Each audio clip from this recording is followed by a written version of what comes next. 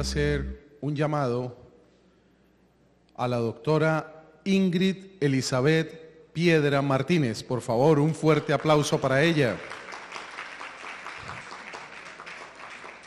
La doctora Ingrid Piedra, ella es médica odontóloga, especialista en armonización orofacial y el nombre de su ponencia, toxina botulínica y concentrados plaquetarios en regeneración celular. Bienvenida, doctora. Otro fuerte aplauso, por favor. Muchas gracias, doctor, por esa calurosa presentación. Pues estoy muy orgullosa y muy contenta de estar aquí por segundo año consecutivo con esta gran familia CISDET. Es maravilloso reencontrarnos nuevamente y pues pasar momentos tan lindos y hermosos como lo hemos vivido hasta ahora. Eh, pues todo lo que hemos visto acerca de la medicina regenerativa en el campo médico está avanzando cada día y no solamente en la parte de la medicina como tal, sino en el área de la odontología, donde la regeneración celular se puede hacer con múltiples concentrados plaquetarios y con toxina botulínica, en este caso, que va a ser nuestro tema de presentación. Actualmente la medicina regenerativa, como todos ustedes, doctores, han estado hablando, hay muchos avances que han venido haciéndose a partir del propio organismo del cuerpo, del propio organismo celular, donde todos han hablado maravillosamente desde exosomas, bioimpresiones 3D, toda la parte de las terapias génicas, eh, todo lo que es la parte de concentrados plaquetarios, y pues cada día nuestro cuerpo hemos descubierto que tiene la capacidad regenerativa que estamos viendo ahora y en estos momentos. La medicina regenerativa nos aporta muchísima eh, beneficio a nuestro cuerpo, a nuestros tejidos y no solamente a la parte de recuperación celular, sino de recuperación de tejidos. Todo lo que es la parte de ingeniería de tejidos la estamos viendo y lo maravilloso es que nuestro mismo cuerpo lo está produciendo. En este caso vamos a hablar de toxina botulínica y concentrados plaquetarios. Desde el punto de vista la toxina botulínica, todo el mundo o la mayoría la conocemos como con usos estéticos, entonces vamos a darle un poquito ese enfoque más allá de la estética. Siempre la conocemos como para quitar esas arruguitas y hasta ahora el mecanismo de acción que la mayoría conoce es el bloqueo eh, de temporal y la paralización de las terminaciones nerviosas. Actualmente hay otros usos de la toxina botulínica que cada día están siendo más usados. Por ejemplo, en el campo de la odontología es muy usada para el tratamiento de las disfunciones temporomandibulares, dolor miofacial, corrección de sonrisa gingival en algunos casos donde la sonrisa está un poquito más alta y a muchos pacientes no le gusta. Manejo del dolor orofacial en estética dental general y en el caso del apretamiento o bruxismo. Em, este uso de la toxina botulínica, pues hay muchas diluciones que actualmente para cada uso se le van a venir haciendo, dependiendo del uso que queramos darle, vamos a hiperdiluirlas o a utilizar diferentes tipos de, diluciones. Pero un poquito más allá de la odontología como tal, en otros campos de la medicina actualmente, están investigaciones mucha regeneración de tejidos con la toxina botulínica. En el campo de la piel, en tratamiento de cicatrices, ¿por qué en el tratamiento de cicatrices de queloides? Porque cuando se diluye de alguna manera la toxina botulínica, eh, actúa, el fibroblasto se comporta de alguna manera desorganizada en esa presencia de cicatriz y se va alineando haciendo que produzca una regeneración progresiva en el tejido que se quiere tratar.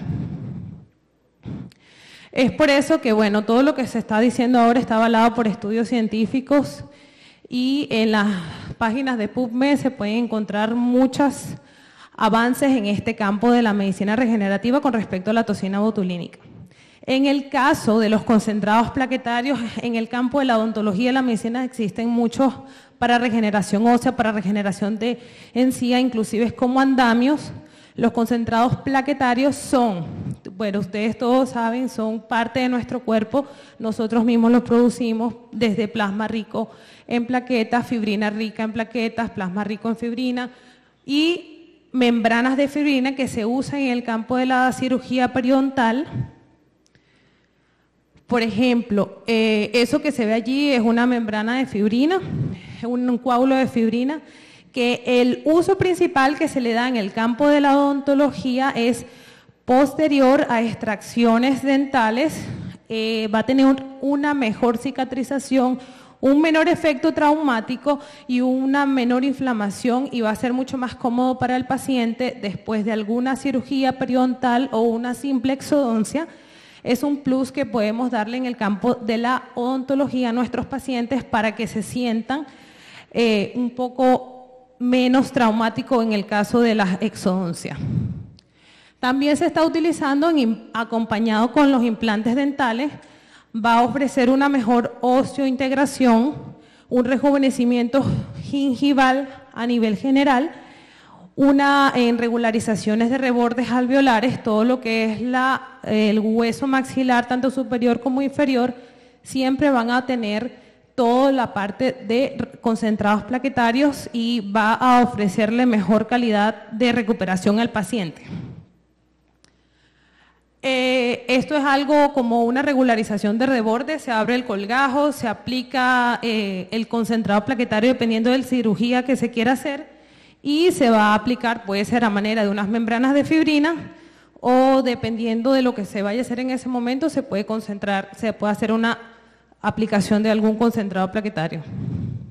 En este caso hay una cirugía periodontal donde se puede colocar eh, un andamio de fibrina y en el caso de los implantes para que haya una mejor oseointegración se, se aplica plasma rico en plaquetas.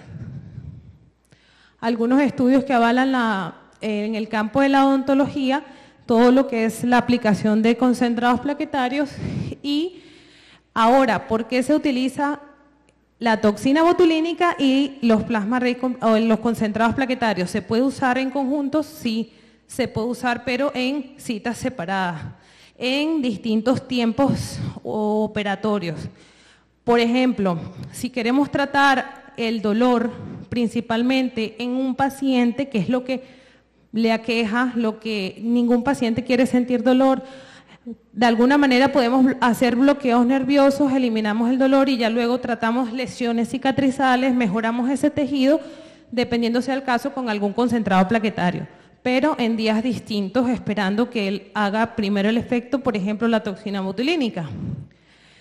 ¿Qué debemos hacer en el caso de la toxina? Porque hay pocos estudios que están, eh, todavía está en proceso de investigación y se sigue investigando todos los días cómo actúa la toxina botulínica, pues se puede usar de muchas maneras, hiperdiluciones, dependiendo sea el caso de lo que queremos lograr. Continuar, seguir investigando y seguir todos los días estudiando y estudiando para que cada día sigamos avanzando en el campo de la medicina regenerativa.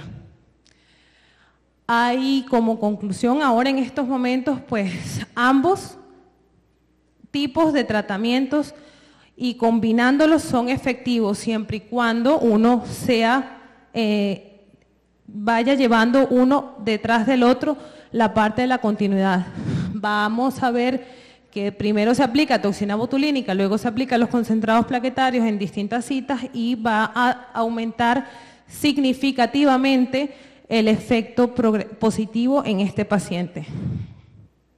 Por para finalizar, pues con un pensamiento que las fuerzas naturales que se encuentran dentro de nosotros son las que verdaderamente curan nuestras enfermedades, que lo dice Hipócrates, porque siempre hemos, nos hemos dado cuenta en este Congreso que todo está dentro de nosotros y la mejor regeneración que podemos hacer la tenemos nosotros mismos, desde nuestros pensamientos hasta nuestros tejidos y nuestra sangre. Muchas gracias por su atención.